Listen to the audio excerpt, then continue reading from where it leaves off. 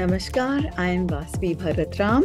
I'm so happy that the SRF Foundation is doing this conference on democratizing digital, a very, very important topic that we have all realized in pandemic causes a great divide in the world. Globalization has opened markets, causing economies to grow and new sectors to emerge.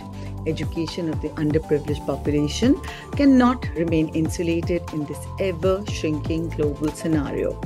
Modern teaching aids must be adopted, and education should be made interest based and employment oriented through skill development in children and young adults. As an educationist, I do believe that it should be our collective responsibility to integrate vocational skills and training and digital literacy along with conventional education so that our future generations can become employable and contributing citizens of our nation. Thank you.